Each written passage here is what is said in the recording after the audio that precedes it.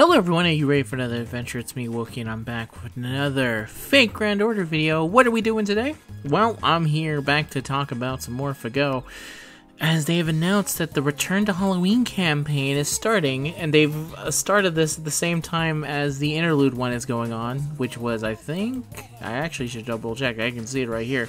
Halloween Comeback started October 1st. This happened. This went until October. Wow, September 20. Did it really last that long? That that's an insane time last. September 29th until October 31st. That's an entire month. Anyway, back to it. Uh, so yeah, they were always going to plan to announce this, but they announced it a little bit sooner than I expected. They also did announce this Fate Samurai stuff, which is going to be coming up pretty soon. Um, we'll see what that entails for us, but it looks like it's going on at the same time as JP. I don't know what to expect from this, but we'll see. But we're going to be focusing on Halloween, and specifically, I'm going to be taking a look at the free to play Lizzes, just in case you're curious about them. Um, in terms of what you're going to be doing in this event, it's pretty simple. You're going through the three stories of the previous Halloween. Um, the story that got us the first Halloween Liz, Brave Liz, and then Mecha Liz. Um, I'm not sure if you actually get both of them here now that I think about it. Um, uh, let me look. I can look right here. Go all the way to the main quest. Go down here. So you can only choose one. Okay, so you it's still the choice is still only one. Interesting. Weird also, but okay it's fine. They're basically the exact same unit. Um, it just that one is silver and one isn't, and there are some personality differences. And the CEs are different in terms of art and what they have in the background. Funny enough, but there will also be getting strengthings along with it. Along with that, there will also be a chance of super and great suck, which you can see here for basically anyone that was ever involved in a Halloween type event. Rank up quests for these servants right here: Siegfried, Caesar, uh, Tristan, Robin Hood, uh, Liz, Ozzy, Tamamo, Naito, Osakabehime, Carmilla, Wu, Yan, Hassan, Serenity, um, Mata Hari, uh, Raiko, Vlad, Ibaraki, Tamamo Cat, and Kiyohime.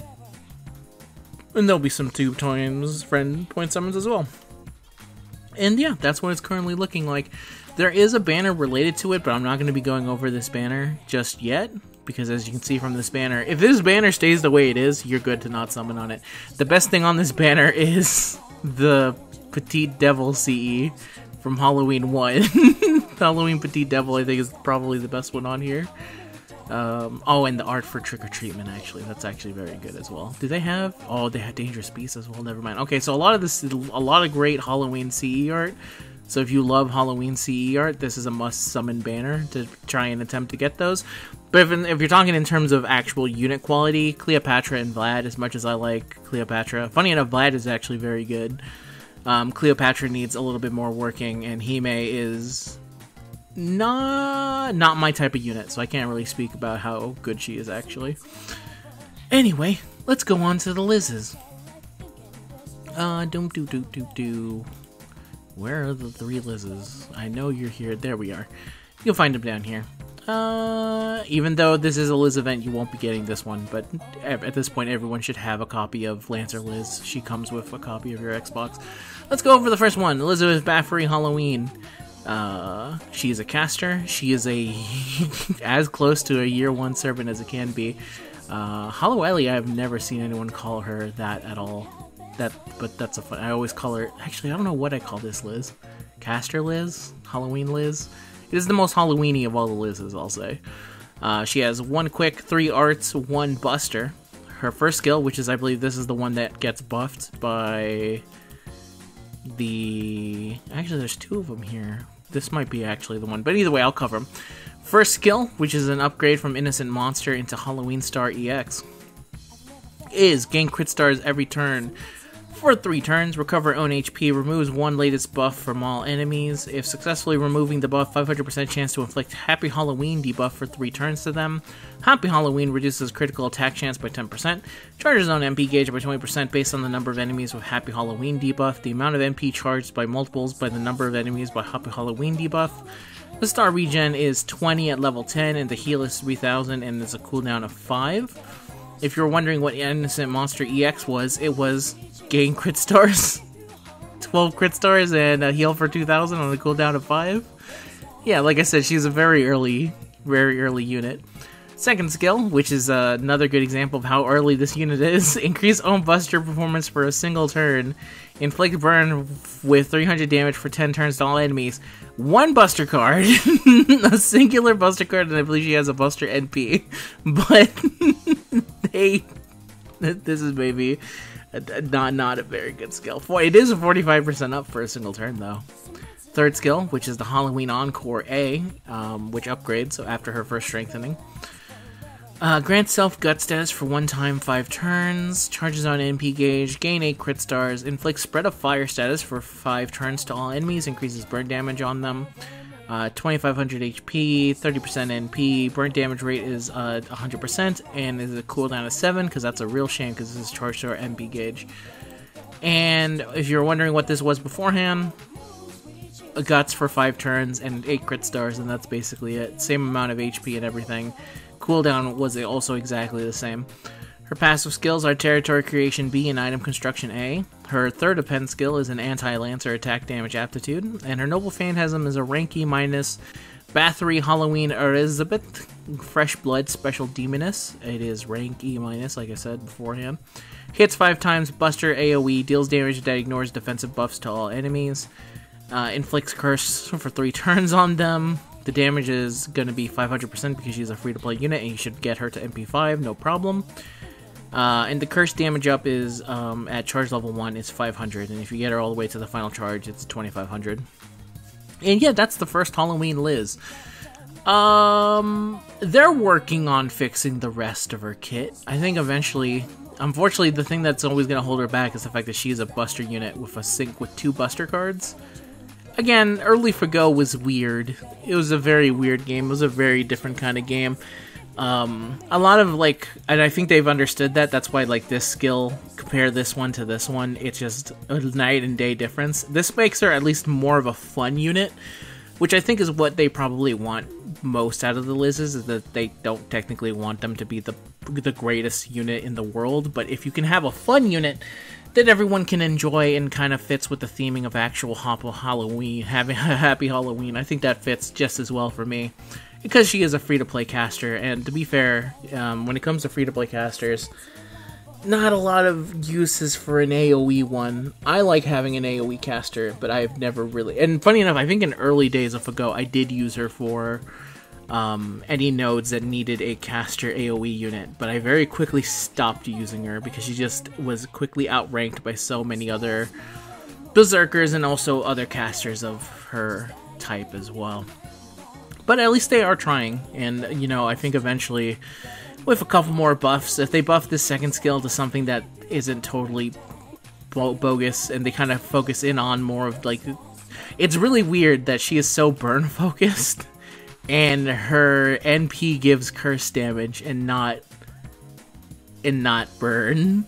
So they could fix that. But either way, free unit Halloween. She in terms of thematicness, this is a fantastic thematic unit.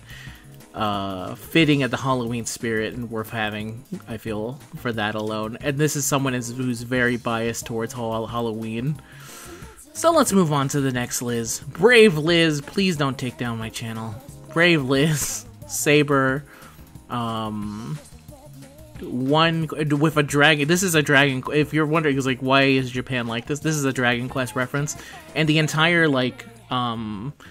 Oh, a, I wonder if they're going to keep it for the actual story event in here. But when you did the story back in the day, it was actually kind of structured like um, Ghost and Goblins, which is really funny because her outfit comes from Dragon Quest, but the actual event itself was focused on ghosts and goblins. Like he even did the thing where you had to do it all over again because you missed a specific item and they sent you all the way to the to the front. So I'm wondering why they. Either way, it was a really cool event. I really liked it. I think it actually might be one of my favorite stories. It might it actually be just because of how cool the references were for it. I think so. I really like it. Either way, let's move on. Uh, yes, one quick, two arts, two buster.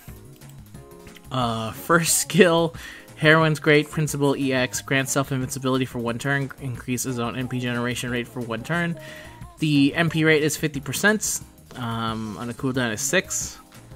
Second skill, Mana Burst. Again, these are really old units.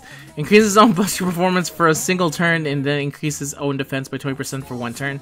40% buster, two buster cards, technically power creeping the old Liz already. Third skill, which this is the one that had this is the one they had to buff because this is notorious as to why this Liz was so bad for so long. Uh, Legend of the Crimson Heroine of the movie EX can only be used when the NP gauge is 50% or higher, reduces own NP gauge by 50%, it's a demerit. Grants one random effect from these effects, only one can be activated. Increase own buster performance for 3 turns, weight 20%.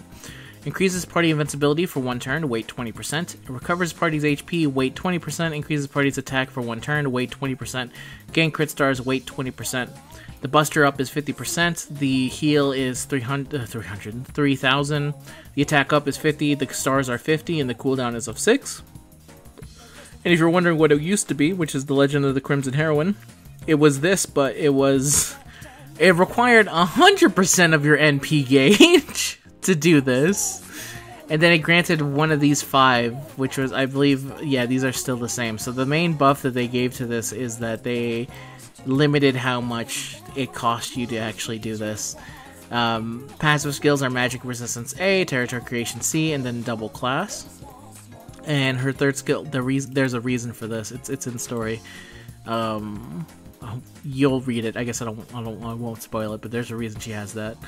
Uh, Anti-Avenger attack damage aptitude increases on attack for Avenger enemies, and then the the Noble Phantasm, which is rank B, but then it gets upgraded to rank V um, or I guess five? Let's go with V.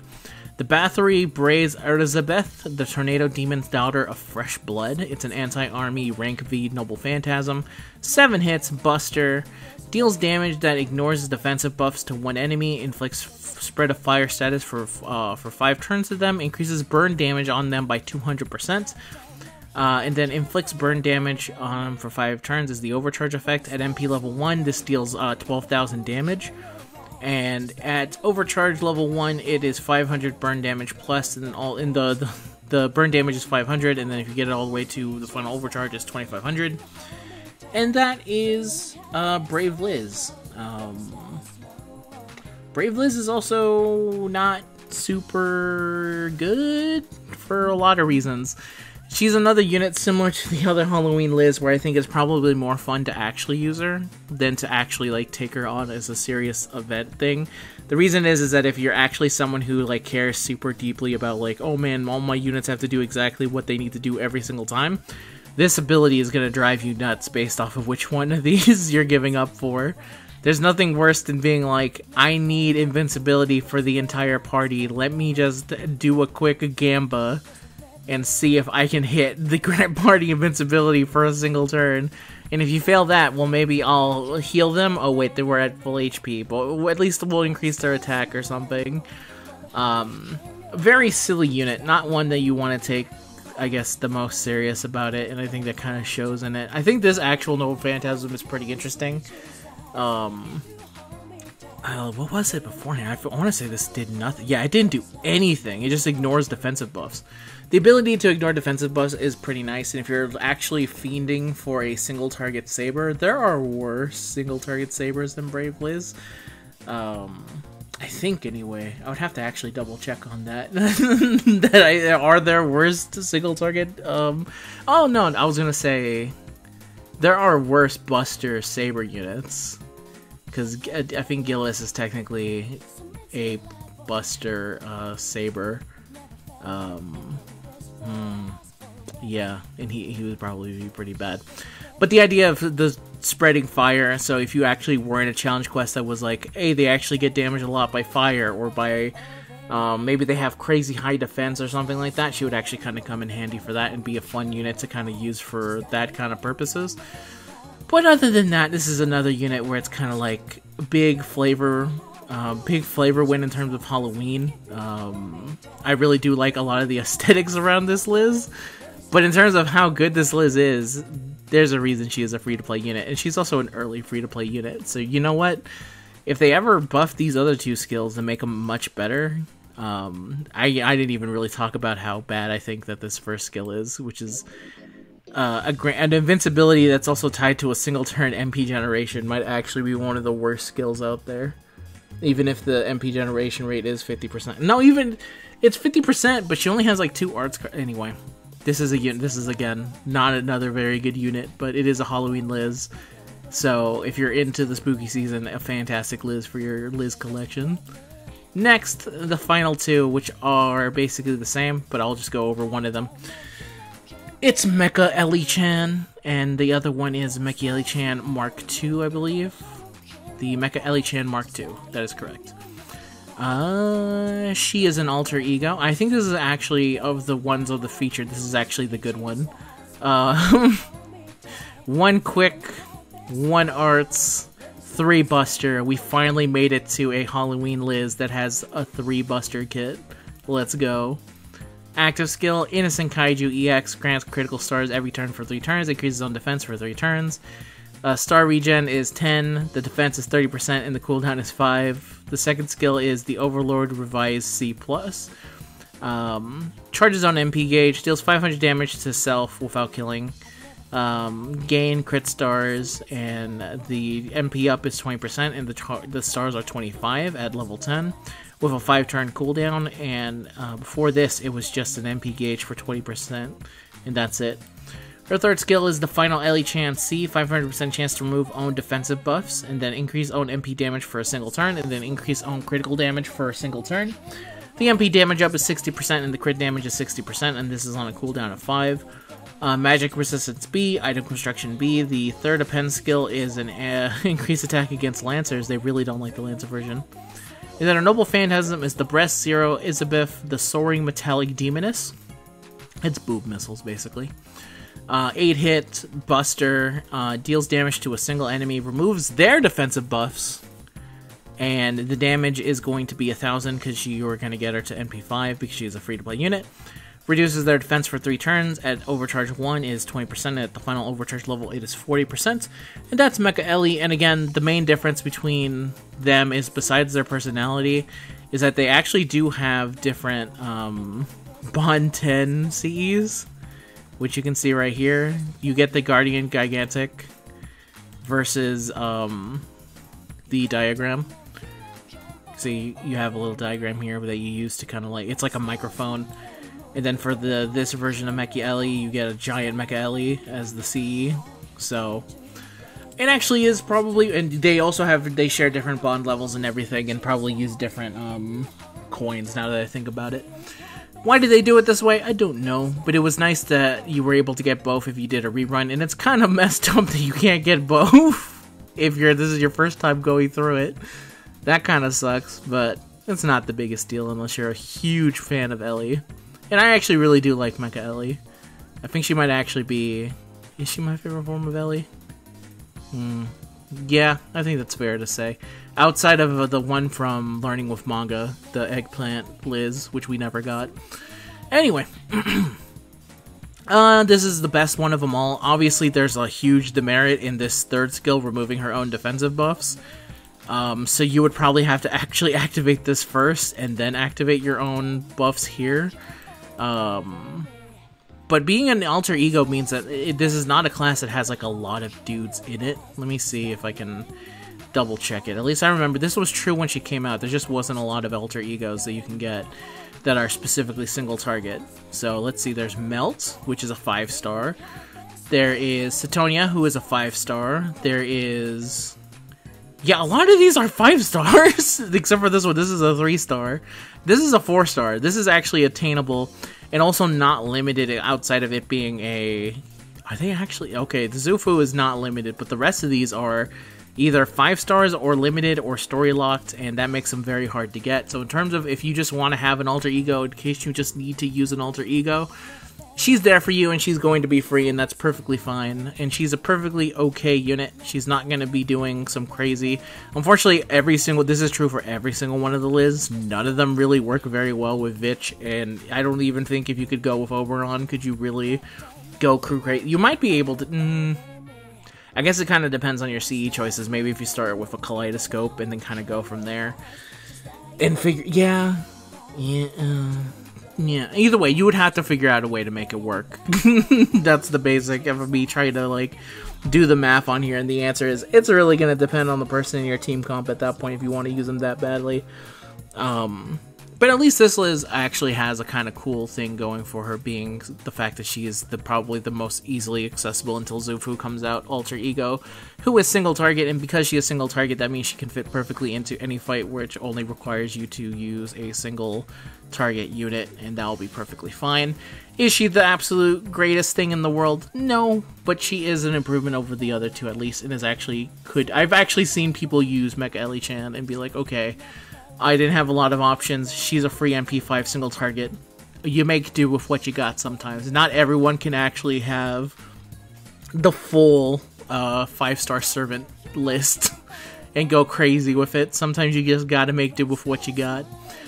And yeah, those are all the Liz's, and the other free to play Liz is going to be coming later in the month, and we'll hopefully get the actual start time for that, um, and we'll see what it is. So yeah, that's going to be the free-to-play servants. Are these Liz's very good? At least one of them I think is pretty solid, and the other two are kind of like, eh. But I think in terms of Halloween spirit, I think every single one of them has it, and they're kind of worth having. I've kind of used mine off and off, off and on over the years. It really kind of depends on the mood, and if I'm feeling just like using Liz at this exact moment. I actually think I remember using a lot of Brave Liz back in the day. But again, early for Go was a very different time. It was uh, an interesting experience, if I could say anything else. You made do with what you had.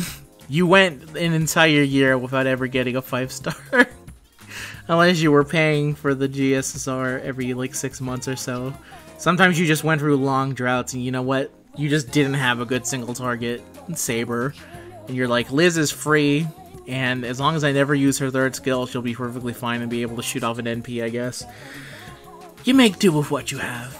But anyway, that's the end of the video, everyone. I will make a follow-up if they change the summoning campaign in any capacity, or when they actually officially announce it. Maybe I'll make a separate video talking about it.